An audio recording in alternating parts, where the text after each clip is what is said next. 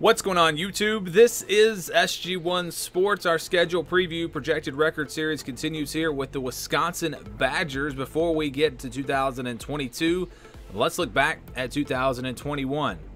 Here is the schedule from 2021 for Wisconsin. You see, out of the East, they had to play Michigan. That wound up being a, a tough game. They played Notre Dame in the non-conference, also Penn State out of the East. No Ohio State, but still Penn State, Michigan, pretty tough draw there. Uh, and then also Rutgers.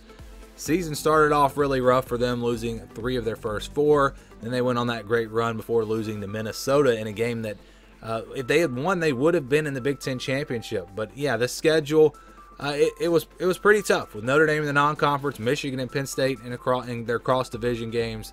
Uh, let's look now at 2022, and here is that schedule. Before we go game by game, let's look at who they play outside of the division. They're going to play Illinois State, Washington State, and New Mexico State. So a pretty easy non-conference schedule. Uh, Washington State will not be a, an easy win or anything, but it's a game where Wisconsin should be favored.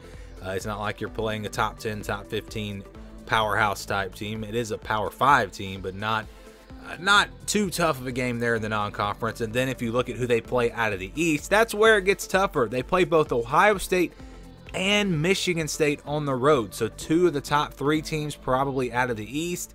Also Maryland, a team that has potential. They're not a, a bad team or anything. So a, a, really tough draw out of the East for Wisconsin this year. Now let's see how it goes game by game. They start with Illinois State in the opener, then Washington State, then New Mexico State. So first three games are their three non-conference games. Then they will play Ohio State on September 24th on the road. Very tough game there. Follow that up with Illinois on October the 1st.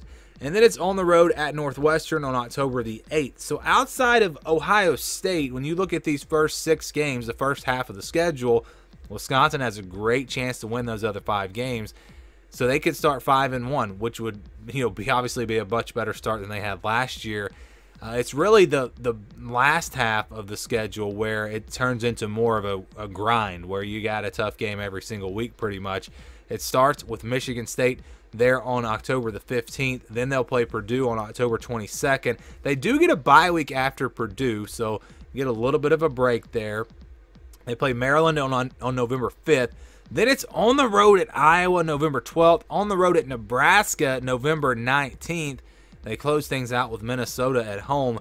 Uh, that stretch right there, that's going to determine if, if Wisconsin's going to be uh, winning the Big Ten West because you got three division games, maybe the three best teams in the division outside of Wisconsin with Iowa, Nebraska, and Minnesota. I don't want to sleep on Purdue, uh, but those three games very tough there, and, and they could be in a great position going into those three games. But you lose two of those three games, and all of a sudden maybe Wisconsin's not making it to the Big Ten championship.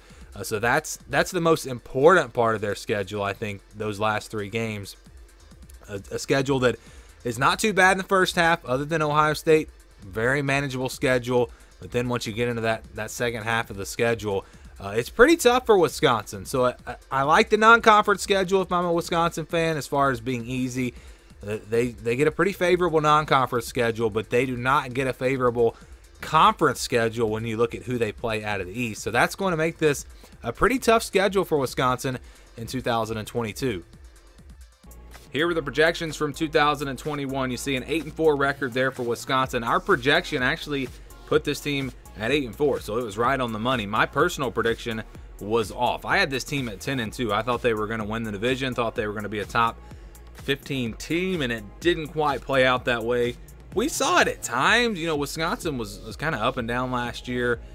I think it really came down to the quarterback play. If Graham Mertz had played better, I think this team would have had a chance to go 10 and 2 potentially. The FPI had them at 8.9 and 3.6, so around 9 and 3, and the over under was at 9 and a half. So the over under thought this team would probably go 9 and 3 or 10 and 2. Those are the two most likely scenarios. And again, they went 8 and 4. But our projection was right on the money. So we'll see how the projection looks this year and see if it turns out to be accurate once again. Here's the schedule for Wisconsin, and here's the scale that we will use. So you have your 50-50 games. Those will be the white games, the games that'll be, I think, spreads of three or four points or less. And then you're under 20 over 80. Those are games where I think the spread will be more than two touchdowns.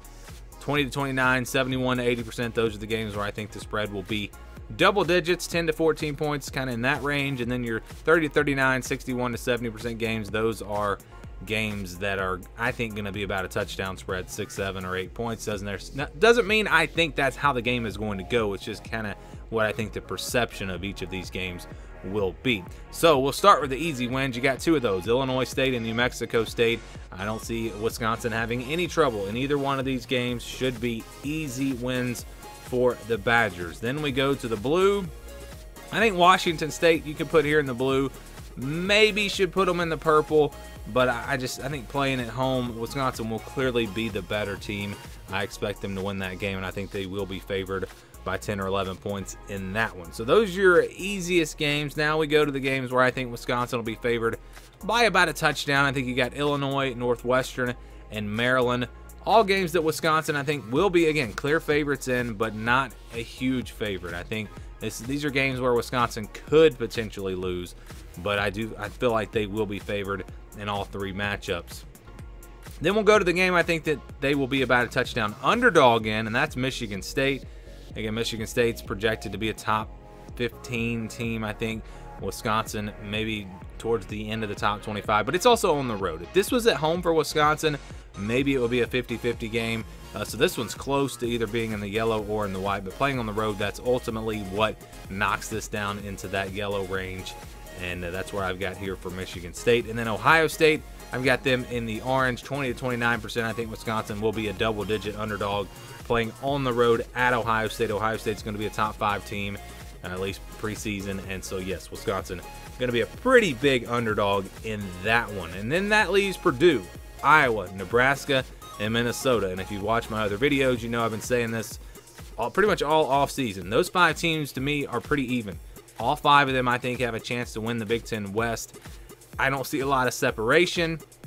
If, if Graham Mertz steps up for Wisconsin, I think they have the, the potential to maybe be a team that could separate themselves from that pack a little bit, but we just didn't see that last year. So at this point, it's kind of hard to say that Wisconsin is going to do that. So I think all four of those games are games that really could go either way. Those are the games that will determine the division.